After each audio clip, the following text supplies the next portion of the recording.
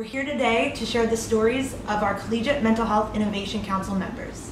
CMHIC is dedicated to finding and highlighting student leaders who filled gaps in traditional supports and services on their campus. Stay tuned to hear their stories and their programs in their own words.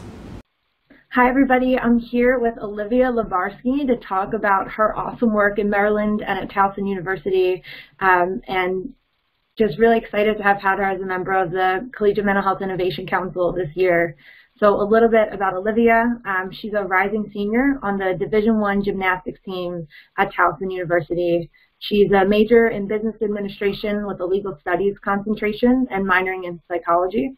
She just finished up um, serving as a fellow um, for the 2019 Governor's Governor's Summer Internship Program, where she worked on a statewide uh, initiative um, regarding the opioid crisis. And then she also is the founder of Own Your Roar, a, a really cool organization that's focused a lot on college athletics, but is dedicated to normalizing mental health conversations and treatment seeking and recovery. And she has a really cool new program that's built off of that. So I'll start it off by opening it up to Olivia to share with folks a little bit about your story and how you started Own Your Roar and got involved in this work.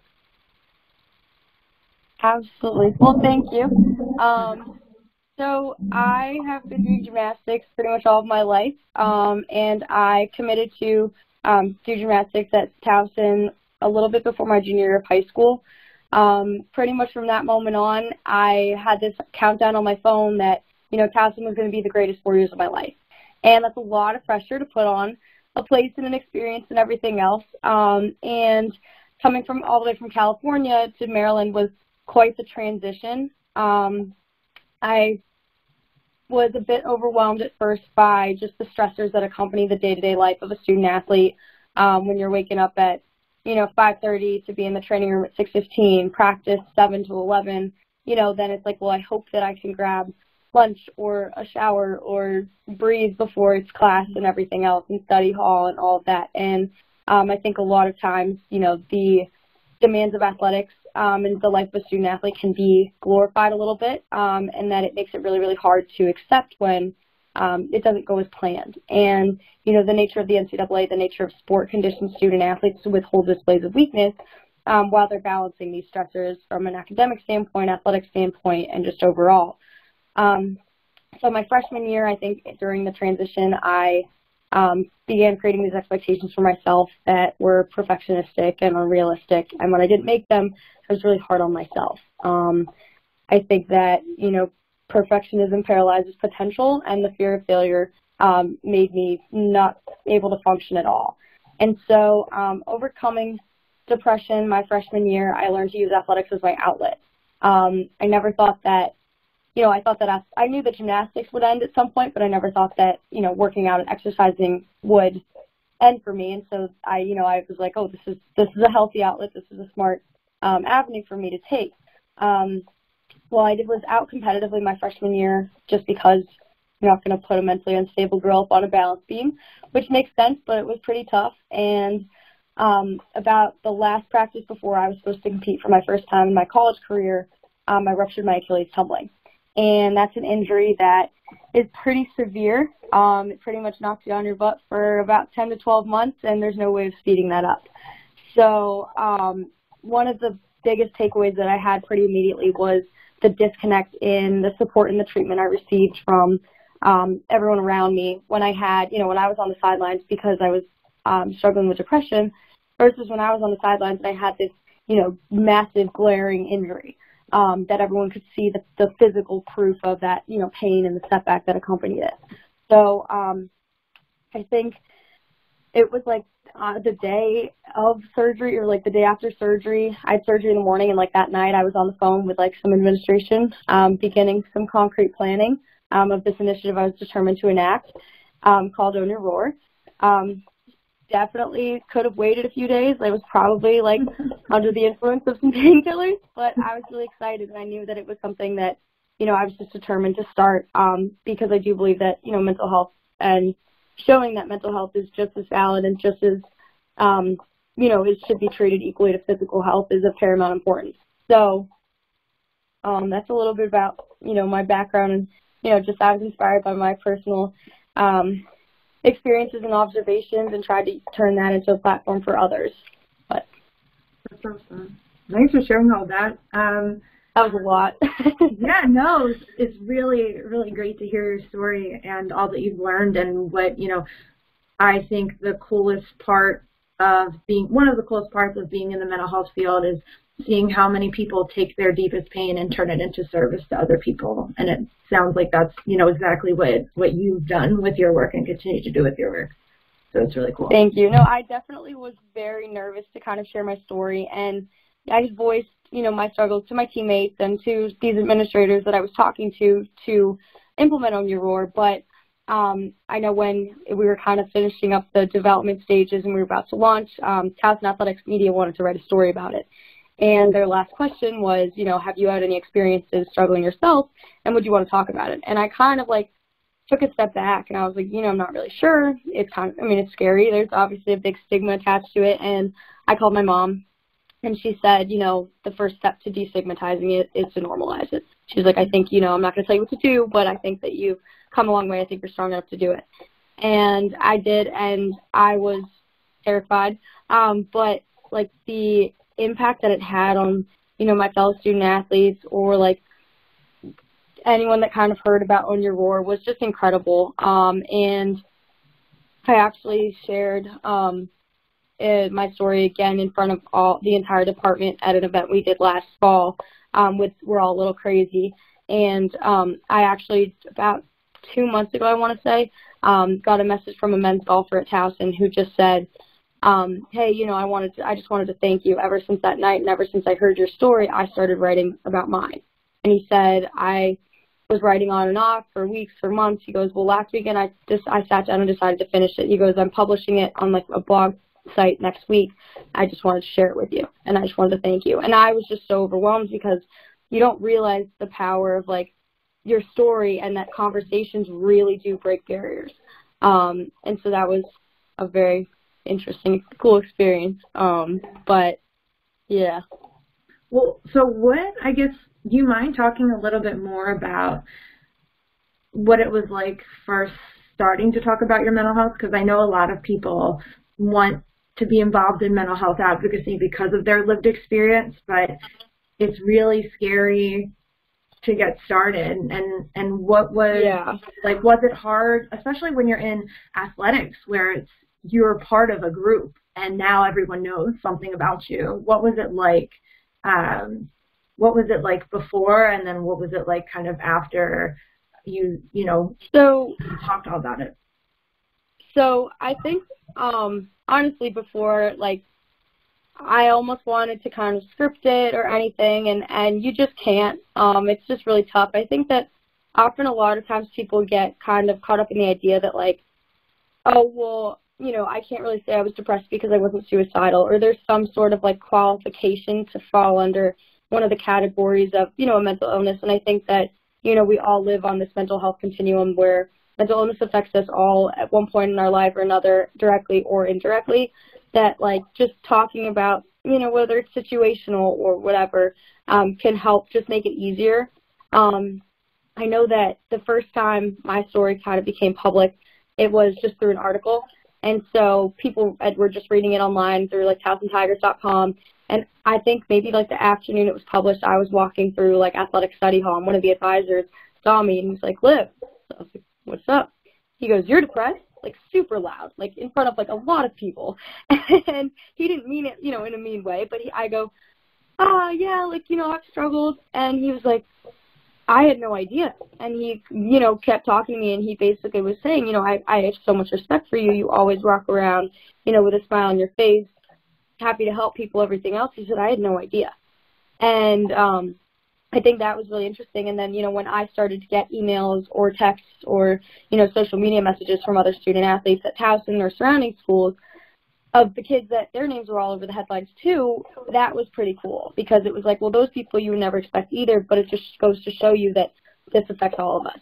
And um, I think that um, I lost what I was going to say. um, but it's just, it's, it really just comes down to conversations breaking barriers and um, there's no you know there's no qualification, there's no right or wrong way to do it, but it just helps if we can be open about it and you know help give and receive support. So yeah, yeah. Well, so it sounds like from what I know, and if folks download and read the report will also know, um, and we'll attach that here. Um, is that Own Your Roar really started out as a conversation opener and has since transformed even more to something that's going to have a heavier emphasis on mentorship. But um, do you mind giving an overview of Own Your Roar, what you've done so far, and then we can talk a little bit about where you're headed this semester?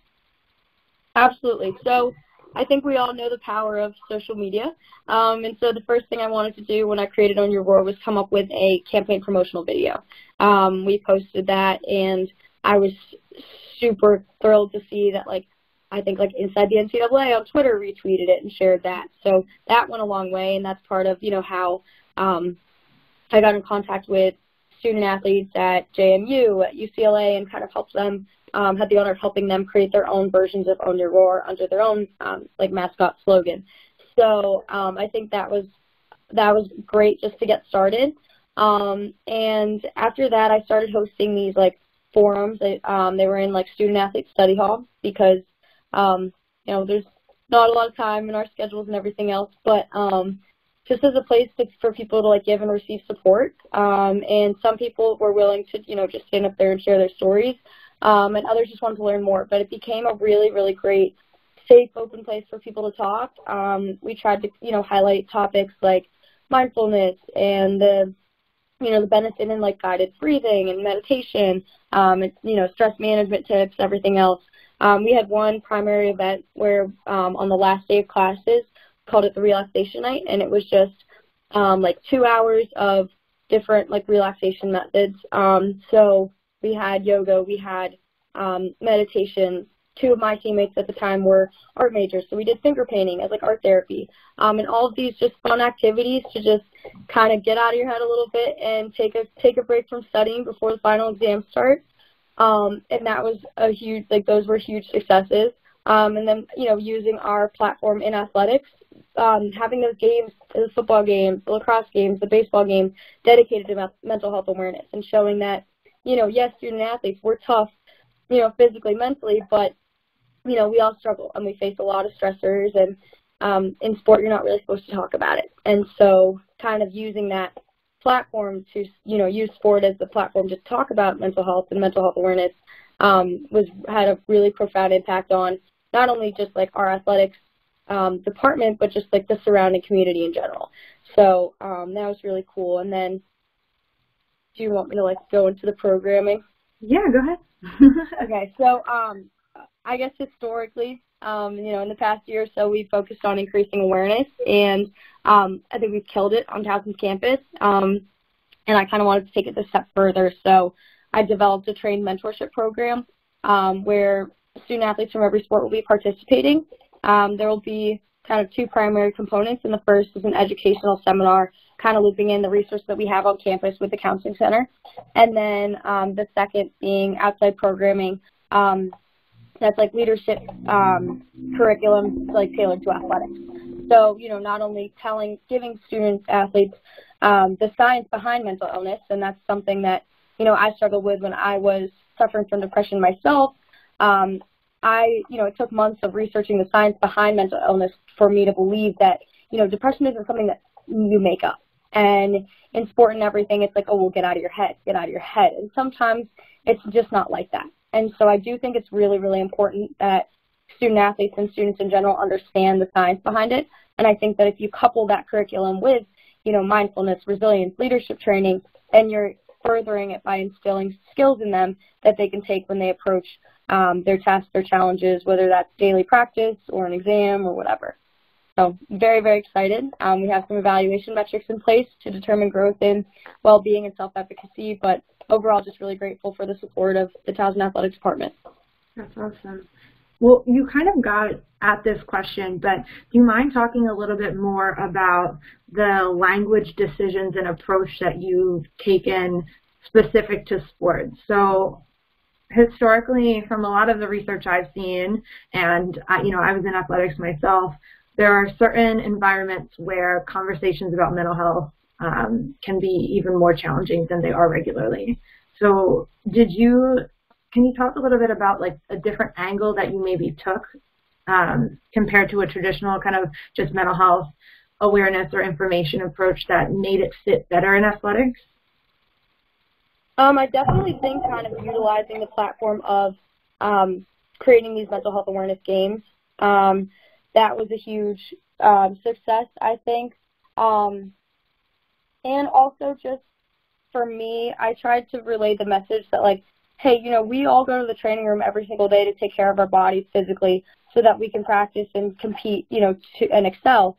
Why don't we do the same thing for our mental health? You know what I mean? Like everyone, everyone is well aware that, you know, there's, you know, so much of the game is is physical, but then there's a lot that goes on behind the scenes and, you know, in, internally and in your mind. So why don't we, you know, paying attention to that when it, when, you know, the mental game is a huge component of sport. And so really just saying almost like, hey, you you go to the weight room and you strengthen your body. What are you doing to strengthen your mind? If, if you're if you're admitting that you know sport is so much of a mental game as well. Um, so I think that that was a big part of it. Um, yeah. That makes sense.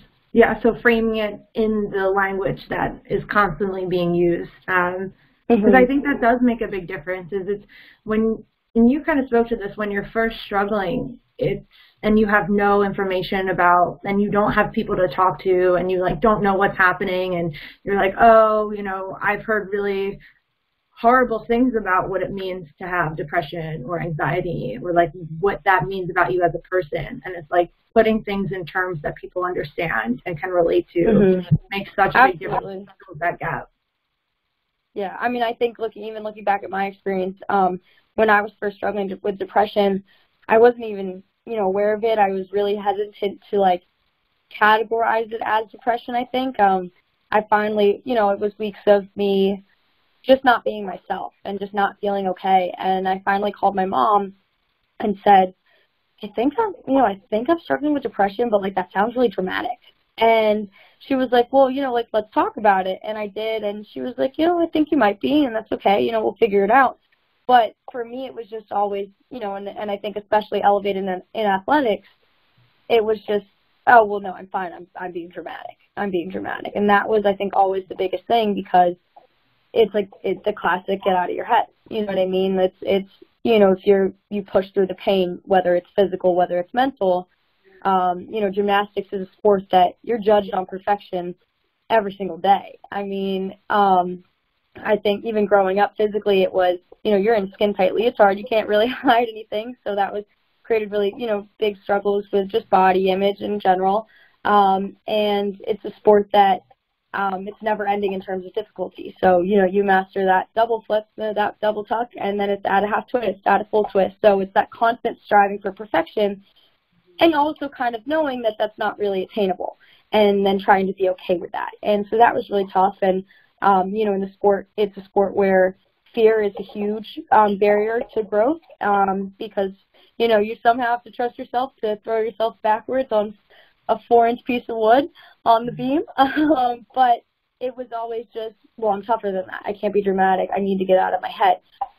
And it's just not like that. And so shedding light on, well, hey, there's resources and there's support out there beyond just, you know, your coach yelling at you to get out of your head um, is really, really, really important. And just promoting those, um, you know, but my whole goal with the mentorship program is being aware of the lack of um, finance, like finances that pose as a barrier to increasing resources and instead utilizing you know the resources that we already have that are in place and saying well why don't we promote these peer relations as a way to increase support for mental health?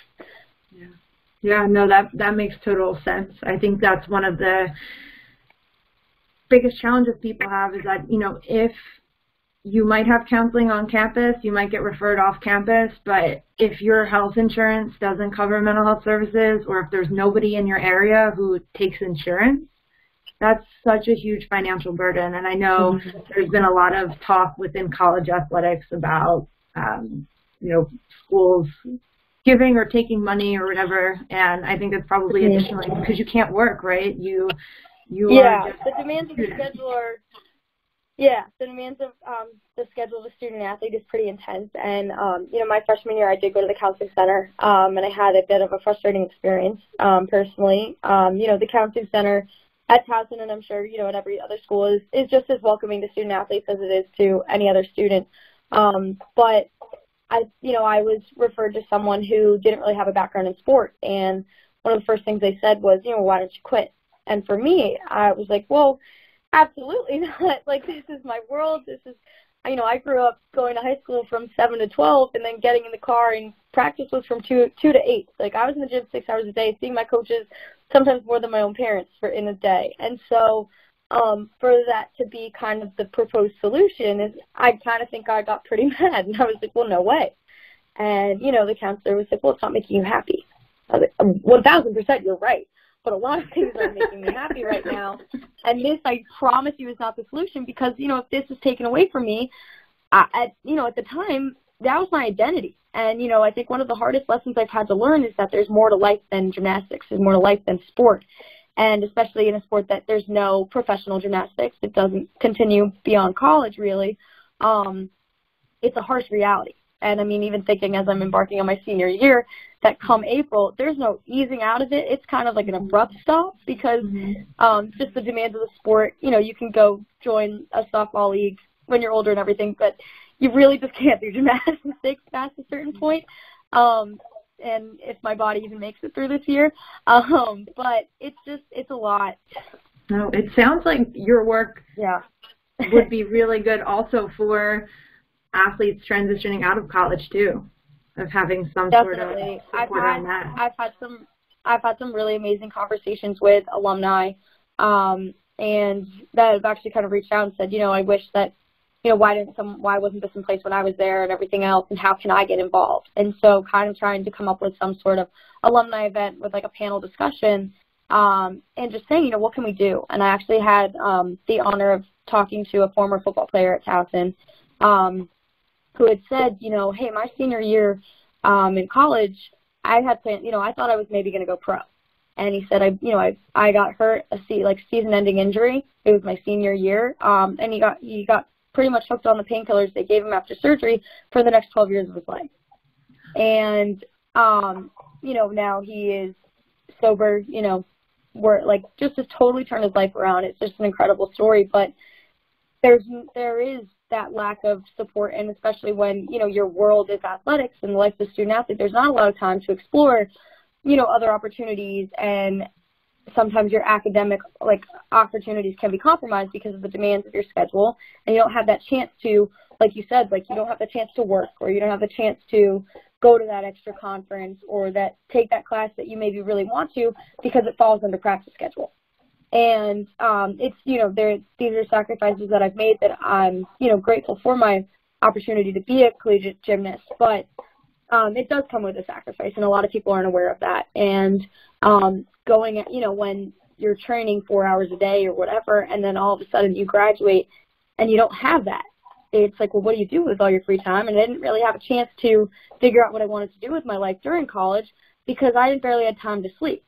And so um, I think I had the um, chance to kind of converse with some people at the national academies um, a few weeks ago, or a few months ago, and just kind of talking about well the you know the the relationship between academics and athletics in universities. And I was kind of pushing for well I think that we need to kind of interweave them a little bit more rather than trying to divorce them because you know let's get faculty more involved. And you know I definitely think you know when I'm looking at grad school and job opportunities after college that you know, I've probably had some great letters of rec from athletics administration and stuff, but my options for professors are kind of limited because I didn't have the chance to kind of really develop that relationship because I was exhausted and I, you know, I had to race to the next class or I was racing to practice or whatever.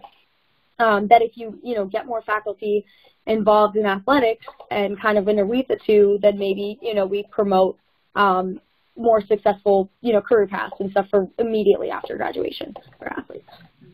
Now, do you see or have you um, experienced using Own Your Roar in more of an advocacy capacity? So, like a space where you can talk, a space for people to connect, but also um, a place where students can come together and student athletes can come together and figure out things like this where you know you could advocate to the NCAA or to the university or to whomever um, that hey these are the things that impact our mental health and this is what we want and this is Absolutely. Absolutely. Um, I think that uh, it's been a really amazing. It's been really amazing to see student athletes come together around this. Um, and even, you know, when I struggle through depression, and you know, it comes it comes and goes in waves. I think that it's it's so amazing to have so many student athletes right behind me saying, no, this is so important. You know what I mean? And um, I think definitely, you know, we use the platform of SAC, the Student Athlete Advisory Committee, to address issues and concerns within the athletics department that I hope to see Own Your Roar kind of follow in that same footsteps and take it beyond Towson's campus. Awesome. Yeah, can I guess can you speak a little bit more about what you see for the future? Because it sounds like there's a lot of other schools who are very interested, and it's a really huge need. Um, and the NCAA also probably some interest. Um, so, what do you see as uh, the future of the organization and how that ties to your your upcoming research and you know what you're hoping to do and create. Absolutely. So um, I've worked to develop connections with um, some people in, in, the NCAA, and so through finalizing the development of this program, um, I reached out to um, the director of academic affairs and had a really really great conversation with him and basically just saying, you know, I've developed this program as a generalizable model for any institution to imitate, you know, regardless of the existing characteristics and resources that they may have on their own campus. Um, and then I would love, you know, the opportunity to share and present. Um, and they were really, really interested, which was awesome. I think that um, through working this past summer um, in the governor's internship program and with the Maryland Higher Education Commission, um, I kind of expressed to them, um, you know, in respect to the statewide opioid crisis and really nationwide, um, that, you know, if we implement some sort of mental health campaign as like a best practice preventative measure, then you're helping these youth, um, you know, give, giving them the tools to cope with their emotions, cope with stressors, cope with failure before they turn to using and, you know, abusing drugs. And so um, looking at, you know, seeing how this programming goes through the fall semester and what the research shows. Um, I'm really hoping to push it through the state level and through the NCAA. That's awesome. And you are you hoping to keep it when it expands at the state level, um, still keeping it to athletics or? I've definitely thought about expanding. Um, I think right now, I, I I don't know. I'm definitely the type of person that you know wants to help everyone, and um, I've talked to a lot of advisors who have said you know, why don't you kind of keep it in athletics right now just mm-hmm. so that it's effective? And so, like, narrowing my scope for now, but um, I would love to expand it beyond athletics. Um, I just, you know, with respect to the demanding culture of sport and everything else, I think that um, as much as it is starting to grow in, you know, conversations, um, I think there's still a significant uh, barrier. And so probably going to keep it for athletics for now. Yeah. Yeah. So would that go into the high school, like high school athletics too? Is that?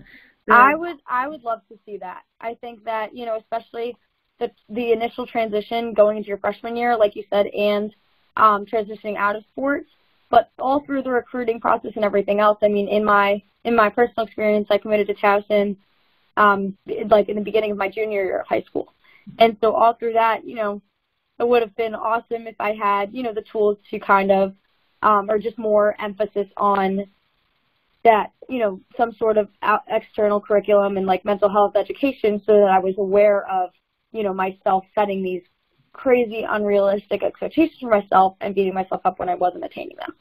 So, yeah, definitely. There's, there's been research coming out about how intense it is to even participate in middle and high school sports now. It's just thousands of dollars. It's crazy. Everything's super elite focused. So I think even yeah.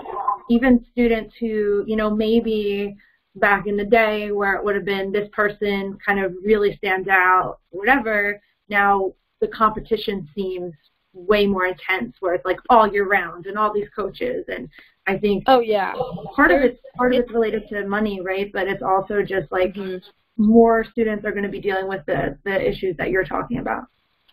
well, and it's that mindset that there's always more you can do, which that's you know, at the middle school level. I, I mean, I started training for gymnastics. I started training six hours a day in middle school, and it's a it's a harsh reality, but it's that oh, I'm tough enough to handle this and everything else, and there's no other option if I want to be good, if I want to go to college, if I want to do gymnastics in college, etc. And it's it's it's incredibly tough. I think the recruiting is kind of crazy. Um, you know, my freshman year of high school, um, one of my teammates at the time committed to UCLA for a full scholarship to do gymnastics, like four years from that. And it was like, well, you know, what if the girl had a huge growth spurt, decides she doesn't want to do gymnastics, and goes play goes and starts to play volleyball her junior year? Like that to me is like, oh well, I, like maybe at the time I probably didn't even know like what I was gonna wear the next day, and it was like, well, and now I'm also to commit to where I want to go to school in four years. And so it's it's huge and it's a lot of pressure at such a young age, and it kind of starts that conditioning of that intensity of sport and everything. And um, you know, I'm grateful for the discipline and for the resilience and everything that I've had to learn. But I think just giving a little bit more attention and showing that you know ups and downs are okay, um, and using that as fuel to get stronger. Yeah.